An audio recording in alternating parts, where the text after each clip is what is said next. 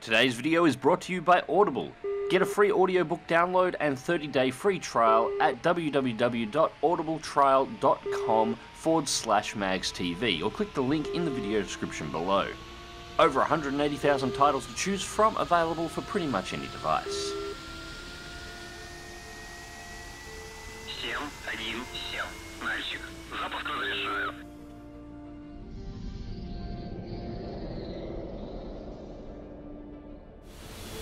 G'day eh, ladies and gents and welcome back to DCS World with Magz and welcome back aboard the beastly MiG-29. Yes, today we're continuing our Over the Hump campaign playthrough and we're up to Mission 5. So, in Mission 5, our objective is to directly take out the enemy HQ that is commanding the two airfields that the enemy is occupying on the far side of the hump, the origin point for all of the attacks and enemy aircraft that we've encountered up until this point. We are flight lead of a four ship flight of MiG 29s, and our mission is quite simple to defend two strike packages heading into the area to take out the enemy HQ. The first to arrive in the area will be an Su 24M on a SEAD mission. Its objective, obviously, will be to take out the radar installations surrounding both of the runways, blinding the surface to air missile defences, and thus opening the door for a second strike package, also an Su 24M, that will be coming in directly to eliminate the hostiles HQ. Now, over the course of the previous four missions, we've eliminated most of the aircraft based on these runways to begin with. However, there is still a couple of F4 Phantoms floating around, and these will be the primary threats to the strike packages. Whether or not our flight actually survives is entirely irrelevant to this mission. Those strike packages are the primary defense. If they are eliminated inside of the target zone or at any point during the mission, the mission is an instant failure, but more than that, so is the entire campaign. Now, there is a third flight that will be entering the area after the HQ is taken out. This flight consists of two Su 34s, equipped for ground attack and air defense. Once the HQ is taken out, we are clear to leave the area. The Su-34 flight entering the area will then begin to eliminate any remaining aircraft that we have missed operating over the runways before running their own strikes directly against the runways themselves. So, for the most part, this mission seems to be relatively straightforward. It's not. This was both the easiest and the most difficult mission that I've ever had to complete in this campaign up until this point, and it's mostly because of well, one important mission objective. The Su-24Ms operating as the SEAD strike package and the ground attack package that will be taking out the HQ cannot be shot down at all. There is no further backup, there is no other way that the mission can be completed, and it's an instant campaign failure if you do have them shot down. And that's a problem because if you follow the mission waypoints and the mission design, that is nearly impossible to prevent actually happening. The mission waypoint is set out so you head out to your first waypoint and then turn south towards the runways. This initial flight over the mountain gives time for the first Su-24M, the SEAD mission Su-24, to fly in and for you to be able to rendezvous with it and escort it into the combat zone. Now this makes logical sense. You meet up with the aircraft you're escorting and you escort them in and then engage any hostile aircraft you encounter, allowing it to complete its mission. The problem is, coming in in that manner, every single hostile aircraft that you face will automatically bull charge the Su-24M, firing every single missile they've got at it, and at least one of those is going to hit. The second it's destroyed, it's a mission failure. After having taken many, many shots at this mission trying to follow the mission profile exactly, I am actually convinced that it is impossible to complete this mission if you do not divert from the mission profile. The only way to complete this mission is to engage the enemy's F4 Phantoms that will deploy as you approach the runway before the Su-24s arrive in the area to actually perform the SEAD mission and the attack on the enemy's HQ. And you'll have to pardon my Russian friend speaking in the background, he will speak constantly through this mission. So, attacking the runways before the SEAD mission can actually get into place is the only way to take out the enemy aircraft before they can actually engage the Su-24s. But that comes with a catch of its own. You're attacking a defended runway that has active surface-to-air missile defences before your SEAD mission can get into location to eliminate those defences, putting you at risk. And that's not to mention the active AAA defences that are operating around the runway itself. That being said, it's still not as dangerous as you may think. Remembering the previous mission that we did, we escorted an aircraft in to perform a SEAD mission operating in the area. That SEAD mission was to eliminate radar stations guiding surface to air missiles that were covering the mountain range itself. Providing you keep the aircraft over the mountains, the radar stations around the runway seem to have issues tracking you reliably. They will be able to fire missiles at you, but they're in a bad position to do so. Now this gives you a position that you can not only engage these aircraft in relatively close range engagements, but a position from which to deploy your R-77 missiles. These are active radar guided missiles that will be able to lock onto the targets that as they're flying around the airfield and fire on them, providing you can get an accurate radar lock to release the missiles in the first place. Which actually shouldn't be too hard considering, as you heard, from the constant chatter in the background, we do have an AWACS operating over the mountain range as well that is able to give us bearings to each of our targets. And this is where the easiest mission to complete comes in. Once I diverted from the mission profile and actually went to attack the F4s directly before the Su-24s arrived in the area to complete their mission, the difficulty level on this became trivial. With no Su-24s to target, the F-4 Phantoms are forced to directly engage your flight, which, providing you attack a single runway at the time and don't approach down the center to engage both runways, actually gives your flight a numbers advantage in the engagement. Not to mention that with AWACS and long range or medium range radar guided missiles, you have a range advantage over the F4s as well. At this point I've locked up the first of the F4 Phantoms from the westernmost runway. I've got solid radar connections to both thanks to the AWACS. I can see where they both are quite comfortably and I'm just waiting to release some missiles. But I was getting a little bit concerned about incomings from the surface-to-air missile defences. So, issue attack orders, pop chaff and flare and push the aircraft into a dive. I figure I'll drop down into the mountains, blinding the SAMs based around the runways themselves, before pulling back into the vertical and engaging the F4s at close range.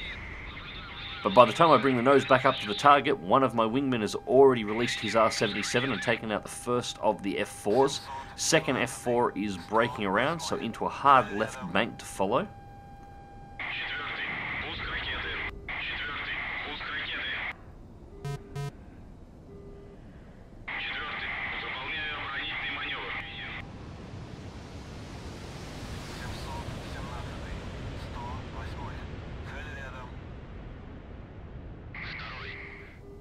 So helmet targeting is up and I go to lock the F4 after pulling out of the bank, but Wingman also got onto that one with the missile first, and the second F4 is out, and that is the defences from the western runway eliminated. Meanwhile, as you can hear from the radio chatter, aircraft 3 and 4 of the flight have already turned towards the eastern runway and started to engage the F4s deploying from there.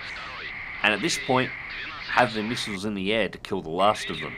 In a matter of seconds before I could even release a missile against a target, my three wingmen were able to eliminate the entire F4 flight that otherwise would have locked onto the Su-24s as soon as they were in the area and ended the mission for us.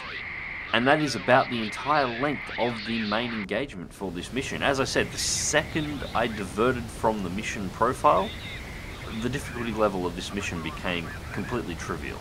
Now that's not to say that I'm done just yet. The Su-24 on the SEAD mission still has to arrive in the area and take out the air defences, at which point we can escort it out of the zone and the second Su-24 will come and take out the HQ. At that point we are clear to RTB and we will have to. Because we engaged so early on, we dropped our tanks.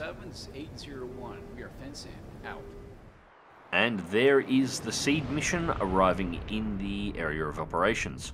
So as I was saying, because we engaged the F4s early, we dropped our tanks as we went to engage. The catch is the MiG-29 doesn't have particularly long legs and we are over 150 k's away from our main runway. We do have well and truly more fuel than is required to actually get home, but we will be burning through it very, very quickly, and we don't have the reserves of the tank anymore, so if we hang around too long, the MiG-29 flight is going to start running into fuel issues, so we've got a very limited window here that we can now actually stay. Providing we stay off Afterburner, which you know me, I don't, we've got about 10 minutes that we can stay in the operations area before we have to RTB.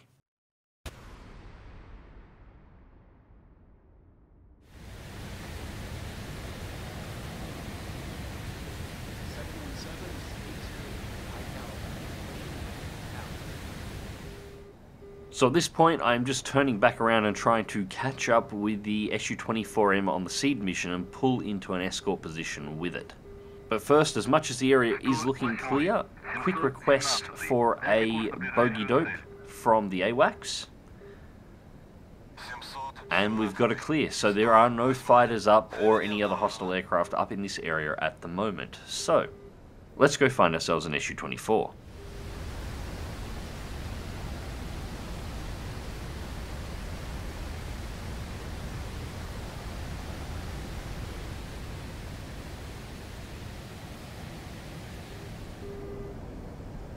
So it only took us two or three minutes to actually locate our SEAD aircraft. Funnily enough, it wasn't all that difficult to find. It wasn't exactly going out of its way to be quiet. Now at this point it's already fired on the SAM sites at the westernmost runway, it's now working towards the easternmost runway, and we've received notification that the second Su-24 coming in to directly attack the HQ has also entered the AO. Currently, the AWACS reports that there are no additional aircraft in the area. Everything that is up is friendly, so we have total control.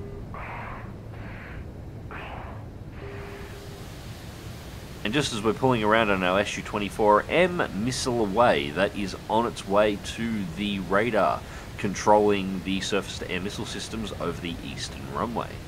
So at this point, the SEAD aircraft has now completed its mission and it's getting ready to bug out of the area and there's the smoke as it comes off afterburn. You can say a lot of things about Russian aircraft, but um, low on pollution and environmentally friendly is most certainly not one of the things that they are.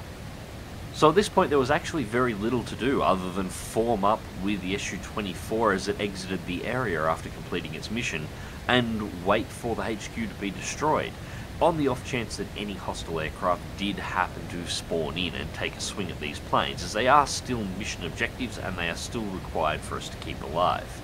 And I really do like the look of the Su-24. I'm sort of hoping this is an aircraft that at some point becomes available as an actual module in DCS. The Su-24 NATO reporting name Fencer is a supersonic ground attack aircraft. It's basically the Soviets' version of the F-111 Aardvark. Much like the Aardvark, the Fencer has a side-by-side -side configuration for pilot and co-pilot, with other similarities to the F-111 including a twin-engine setup, a variable geometry wing, and even carrying a very similar maximum load, with the Fencer being able to get up to 43 tons maximum weight to the Aardvark's 45. This is 801. HQ has been destroyed. Now let's get out of here. Out. And that's it, mission complete. We've just been cleared to RTB. So, What's different between the Fencer and the F-111? Well, honestly, everything else. The F-111 has a longer range by over a thousand kilometers, a higher maximum altitude, it is significantly faster with a Mach 1.2 maximum speed at low altitudes, and at high altitudes being able to get it to Mach 2.5, a speed that is unattainable by the Fencer. In all honesty, I would actually like to see both aircraft put into the game. I think the Fencer and the Aardvark would be interesting to fly, especially with DCS multi-crew being available. Anyway, at this point in the mission, we've been cleared for RTB, so rather than having the entire flight come back with me, I just order them to break off and make their own way home, and begin my own cruise across the mountains. Now, AWACS does report a second flight of F-4 Phantoms entering the area, however at this point our entire flight is bingo fuel, so we cannot afford to turn back to engage. However, those Su-34s that we mentioned before are now just entering the area. So I'm just going to exit the area and let them handle the cleanup. And as you would imagine, with the enemy HQ destroyed, its air defences neutralised, and its air power either destroyed or forced out of the area, the flight home across the hump was rather uneventful. I'm the first of my flight to make it back to base, and I am now on final approach to come in for landing. So, as I'm sure everyone noticed at the start of the video, I now have a sponsor for the channel. I am now sponsored by Audible. Audible is a company that provides audiobooks at a quite a reasonable cost with a huge selection available online. It's run by Amazon and honestly I've been a customer of these guys for a while so when I received an offer to actually have them sponsor me, I couldn't turn it down. It's actually a product that I very, very much believe in. Right now I'm actually listening to the audiobook A Higher Call. I am sure some of you may have heard of this one. It's the story of German 109 ace Franz Stigler and B-17 pilot Charlie Brown's encounter during World War II and what followed. And it's absolutely fantastic and I do very, very much recommend it. Anyways, if you would like to check this out for yourself, head to www.audibletrial.com forward slash MagzTV, or otherwise click the link in the video description below and grab your free trial and credit for a free audiobook of your choice. Doing so will get you a nice freebie and help out myself and the channel. Otherwise, if you would like to help support the channel directly, please feel free to check out my Patreon below, links also in the video description. Anyways, ladies and gents, until next time, Click that like button if you do, subscribe if you want to see more, and as always, fly smart, fly safe, and I'll catch you in the skies.